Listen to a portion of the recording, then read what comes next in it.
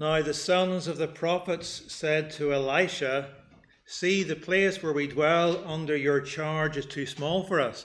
Let's go to the Jordan and, and each of us get there a log, and let us make a place for us to dwell there. And he answered, Go. Then one of them said, Be pleased to go with your servants. And he answered, I will go. So he went with them, and when they came to the Jordan, they cut down trees. But as one was felling a log, his axe head fell into the water, and he cried out, Alas, my master, it was borrowed. Then the man of God said, Where did it fall? When he showed him the place, he cut off a stick and threw it in there and made the iron float. And he said, Take it up. So he reached out his hand and took it. May God bless these readings of His Word to us. When we are young, most of us have heroes. Growing up, it's normal to have those we look up to. For many boys and girls, they want to emulate top sports stars, movie stars, or pop stars. During the past week, there has been enormous excitement in the Paris Olympics for Northern Ireland sports fans. On Tuesday, two top swimmers from Northern Ireland won gold medals. Daniel Wiffen from uh, Magheralin near Lurgan secured his gold, winning the 800 metre freestyle final, and Jack McMillan from Belfast gained his gold as part of the, the victorious 4x200 metre freestyle relay squad.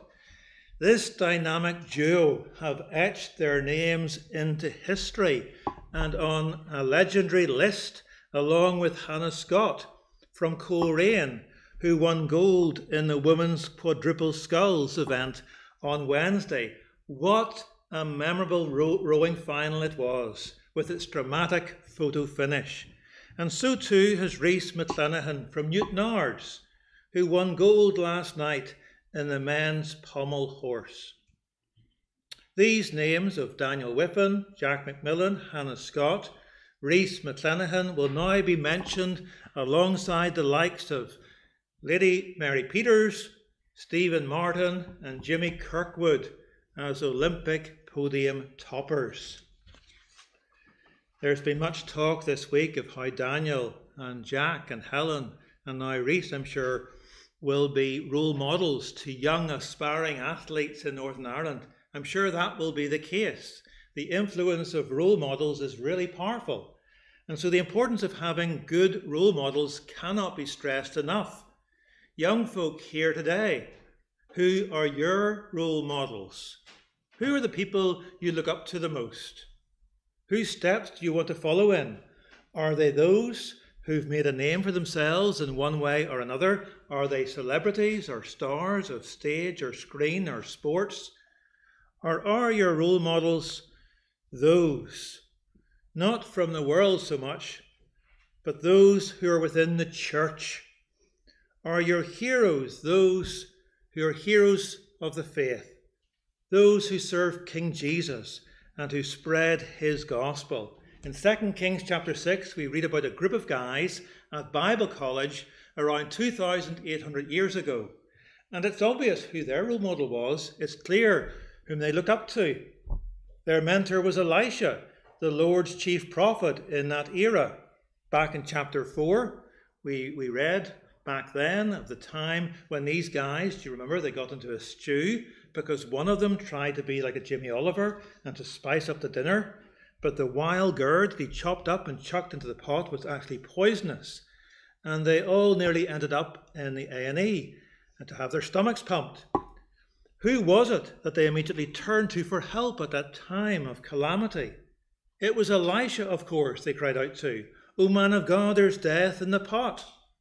The guys were in no doubt Elisha was a true man of God. And in their crisis, they threw themselves upon him, and he came to the rescue.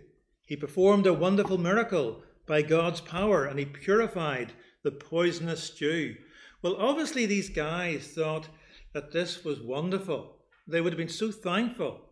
and their respect for Elisha would have risen even more. He was clearly the one they looked up to, and this comes out again in our episode today. These trainee prophets were going to the River Jordan in chapter 6 here to build new premises for themselves. And one of them said to Elisha, Please come with us.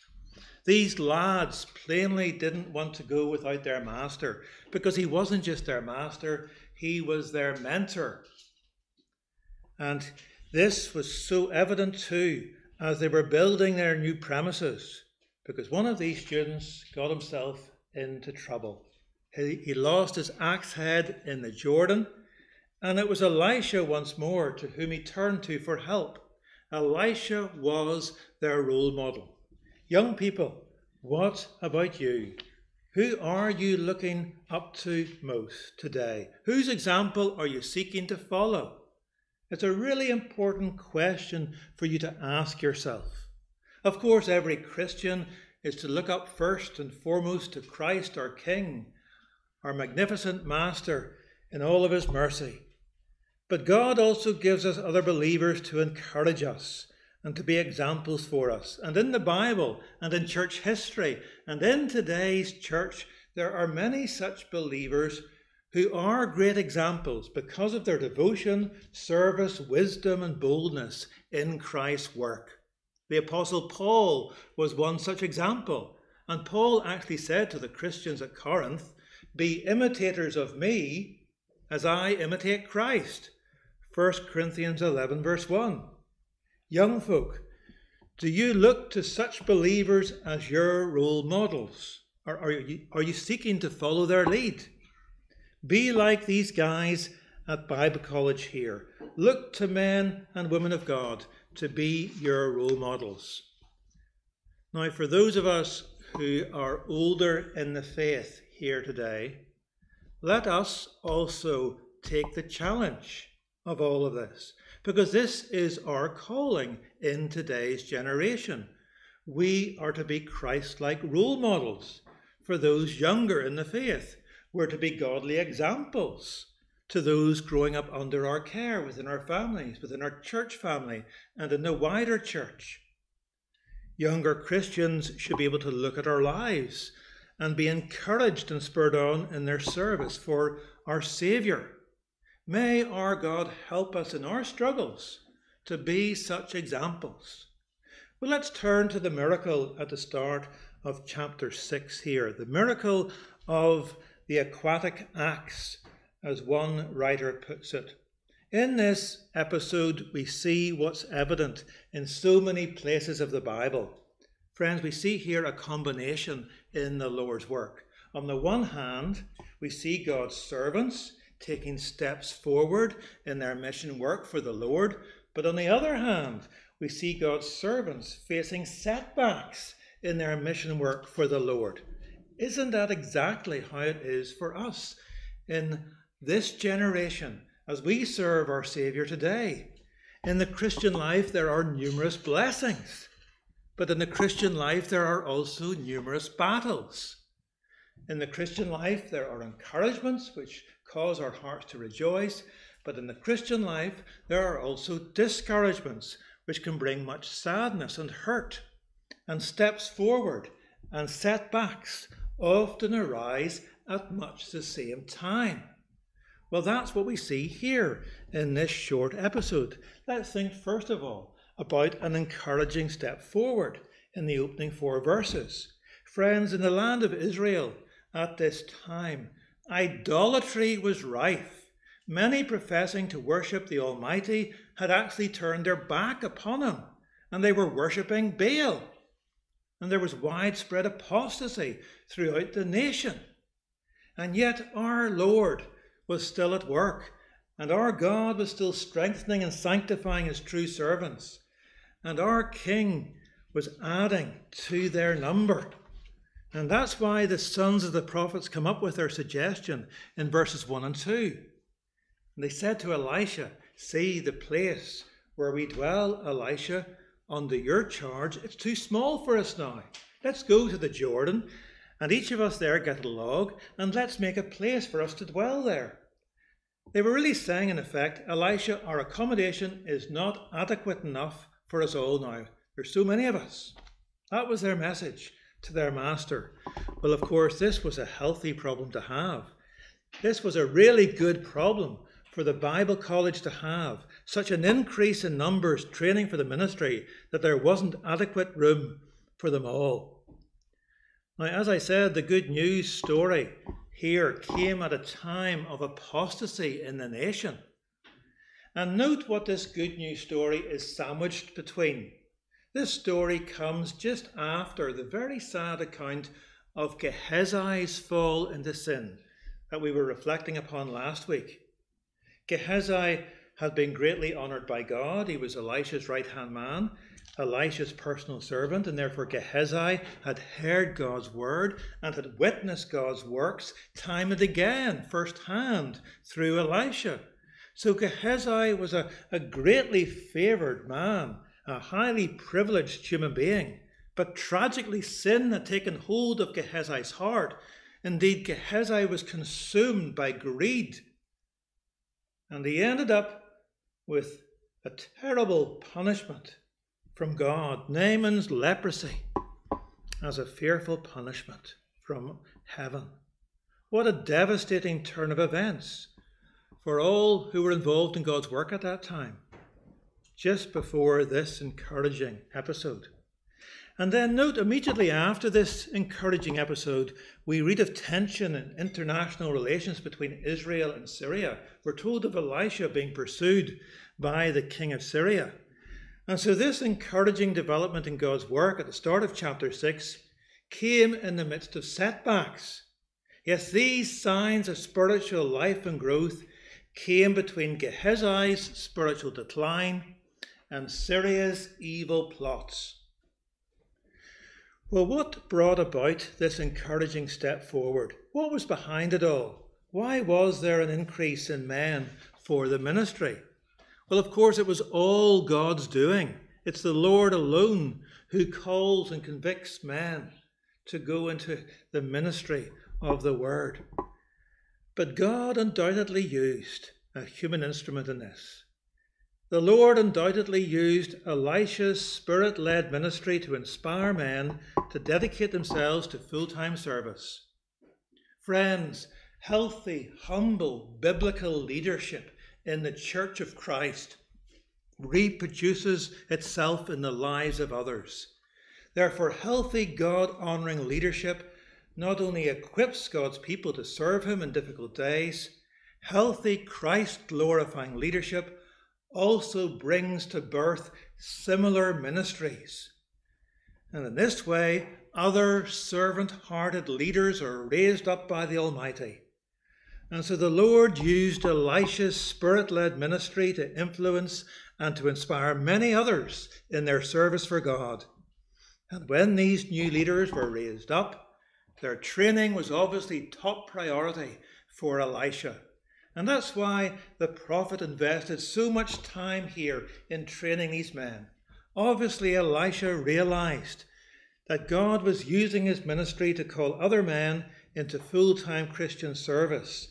And so he knew that he was responsible for equipping and preparing them for ministry. Friends, during times of spiritual decline, there are normally few men who aspire to enter into full time service for the Lord.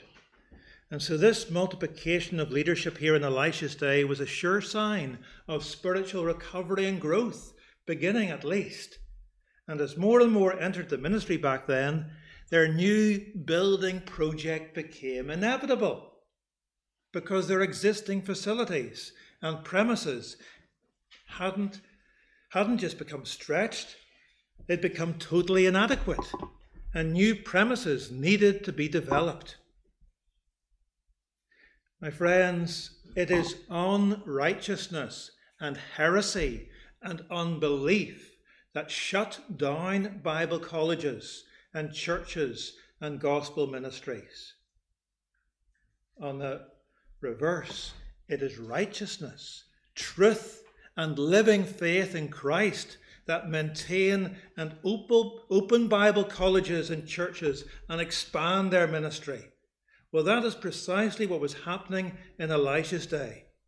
And is this not what we long to see in our own day and in our own gospel denomination?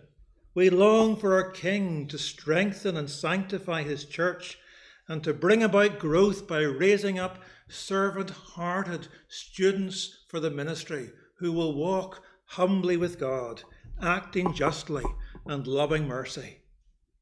We thank God for the men, I think it's four men, who will start at our college this September.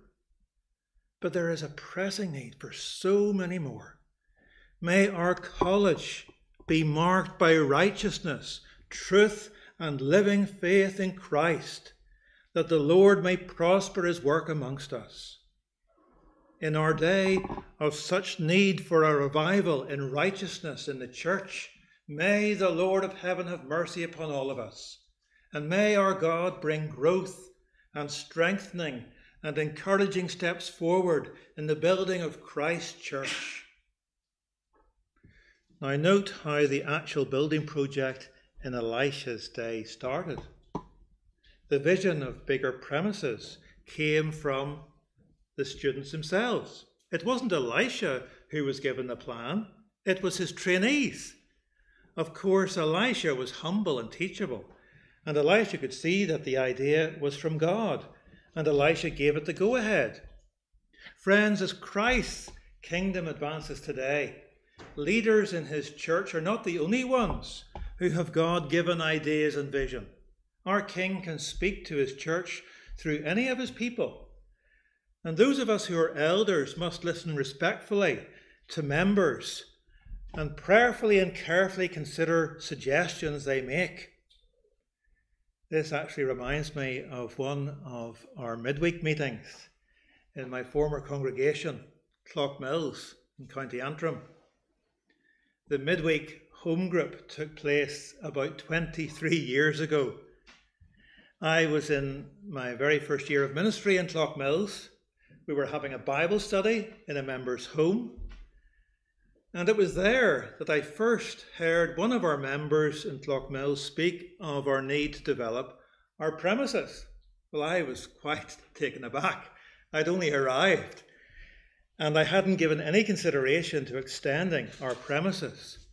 But that comment by that member at that midweek group led to our elders and deacons considering what needed to be done to our buildings. And over the following five years, things developed amazingly. And by God's grace and provision, the new building in Clough-Mills was opened in May 2006. Elders must listen respectfully to members and carefully consider suggestions they make. Now, of course, building projects involve personal sacrifice, and they call for much commitment and involvement from both elders and members. Well, this project in Elisha's day was owned by each of his trainees. There was a sense of ownership here. They were all in it together. Note how all the students resolved to gather materials together. Verse 2 Let's go to the Jordan, and each of us get there a log and let's make a place for us to dwell there. So Elisha's students weren't afraid of hard manual labour. They all mucked in together, and everyone gave of their time, effort, and resources. And so there was this very encouraging step forward at this point in Elisha's faithful, fruitful ministry. In a time of tremendous spiritual darkness and need in Israel, the light of the Lord was increasingly seen through those who knew the Lord who walked with him and who loved him. Spiritual growth was very evident. Christian friends, spiritual development must be top priority in our lives and in this gospel congregation. Our relationships with King Jesus are to be deepening. Our likeness to King Jesus is to be developing. Pray for such growth earnestly. Pursue such growth energetically. Will not grow as we ought by sitting back spiritually. There are two key factors in growing spiritually. First, you must center your life each day on God's Word. Pray for the Spirit to grant you wisdom, to renew your mind, and to enable you to obey as you meditate on God's life giving truth. And second, you must commit yourself to serve King Jesus wholeheartedly in every aspect of your life, whatever the cost, not simply by yourself, not going solo, but with your fellow believers within the church, in the church family that God's brought you to. In God's kingdom, there are no gains without pains. Christian friend, is such growth your goal? Are you setting your sights on spiritual development? Are you centering your life on God's word? Are you hungry for God's truth each day? Are you humble in applying God's truth to your life?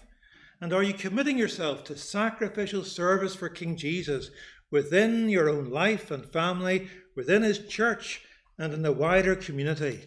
Are you wholeheartedly living for the Lord, seeking his glory and the building up of his people and the advance of his kingdom?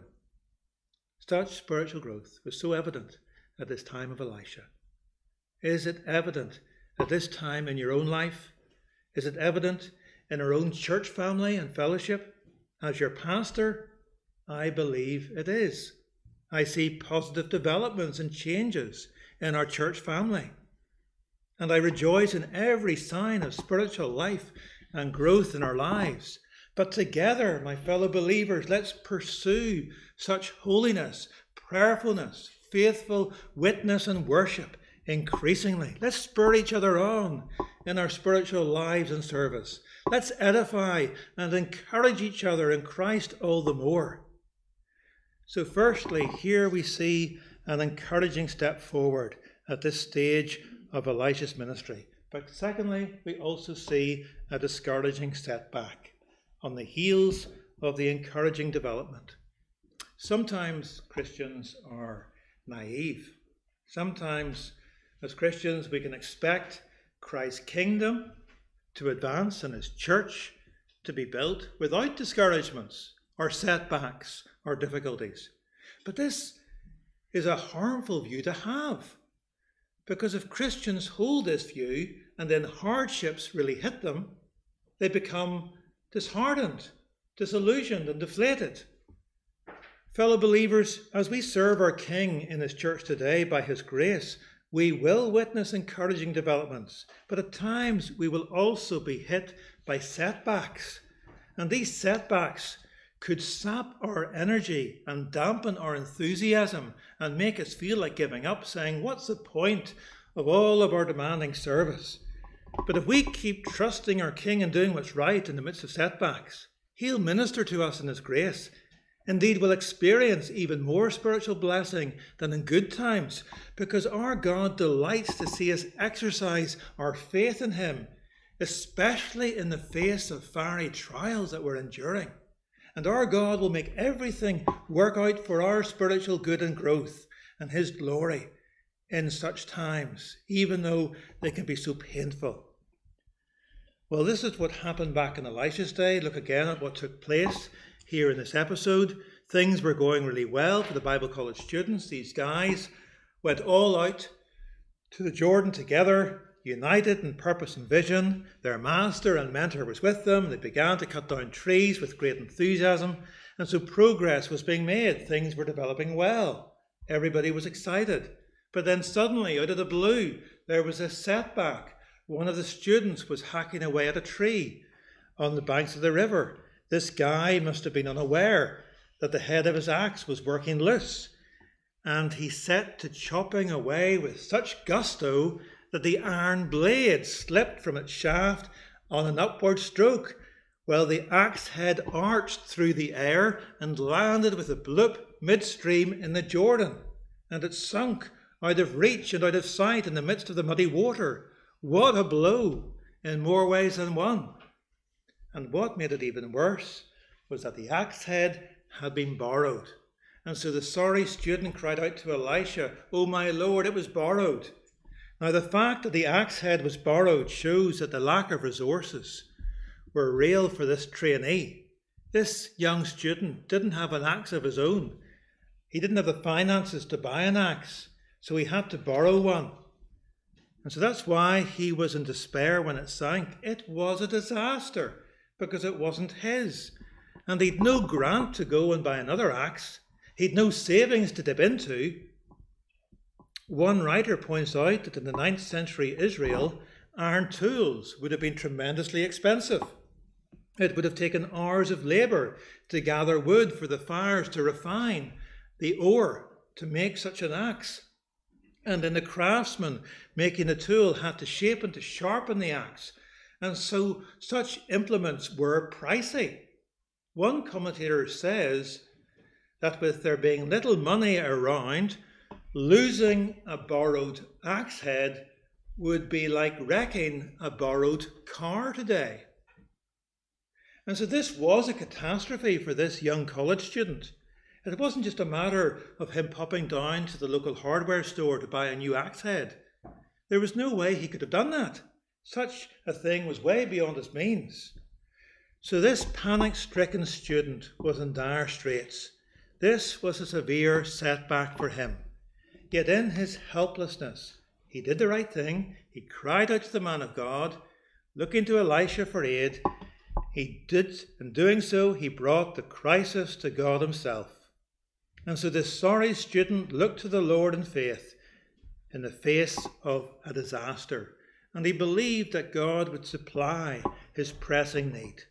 And that's precisely what the Lord did for him. God's prophet performed another astonishing miracle, and he did it by performing another symbolic action. This time Elisha didn't throw in salt or flour, as he had before in performing miracles. No, Elisha threw a stick into the very place where the axe head had disappeared. And at once the iron head rose to the surface, and it floated there for everybody to see. Elisha said to his amazed apprentice, Lift it out. And his very grateful student reached out his hand and took it. Christian friends, the message of this miracle for you and me is simple, and yet it's vitally important for you and me to remember. Our individual personal needs matter to the Almighty. Your individual personal needs as a follower of the Lord Jesus matter to the God of heaven. After this axe head story, we're told about Israel's foreign affairs with Syria. As I mentioned, the Syrian king was threatening Israel. His army would advance on Elisha. Yet, friends, even with all of that about to happen on the international front, our God cared about a little axe head borrowed and lost by one of his dear servants. My Christian friends, this is our God. This is what our God is like. Today we still witness the most terrible unrest and suffering in the Middle East. And the war in Ukraine is wrecking countless lives, and appalling atrocities continue to be carried out in Ethiopia and Afghanistan. And in many parts of the world, natural disasters are causing untold grief. Yet, with all of these worldwide catastrophes, our God still has a deep concern for the little details of our lives which perplex us as we trust in Him and serve Him. Our God's agenda isn't too full for your burdens and needs. Our God isn't so busy or distracted with international affairs and disasters and with vast needs of the nations that He's no time for His children's personal concerns and circumstances because He's our Heavenly Father, and we are His precious sons and daughters in Christ. Part of our God's greatness is that He's always concerned for His children in Jesus and for our individual needs. My fellow believer, the ordinary everyday affairs of your life really, really matter to the God of heaven.